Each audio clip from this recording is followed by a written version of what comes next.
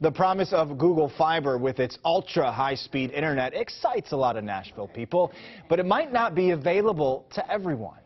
Good evening, I'm Samantha Fisher. And I'm Eric Egan. Here's a look now at some of the local areas left out of the application for Google Fiber.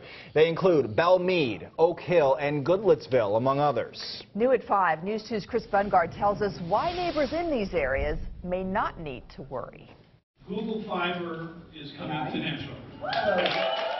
With expected internet speeds 10 times faster than typical service now, the announcement last month that Google Fiber was coming to Nashville was met with great fanfare that started at the top with Mayor Karl Dean. And I, I want to stress it's good for small business and it's good for entrepreneurs, it's good for people creating businesses. But maybe not everywhere in Nashville right away. Google's application approved this week by state regulators excluded Metro Nashville government's five incorporated satellite cities. Those areas with limited local government include Belle Meade, Oak Hill, Forest Hills, Berry Hill, and Goodlettsville. So out here in Belle Meade, what does it mean to be left off the Google Fiber application? The satellite cities are trying to figure it out as well. Top officials from the satellite cities met together this week asking questions about Google Fiber, and they meet next week with Google officials.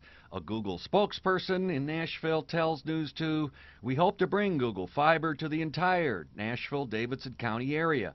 Metro Nashville has been great to work with, and we look forward to engaging with satellite cities as we continue the process of bringing Google Fiber to the region. Where exactly Google Fiber goes and how soon remain unanswered, but a person close to the deal says people in satellite cities can help themselves by getting online and telling Google they want the service. Like any business, Google likely goes first where demand is highest.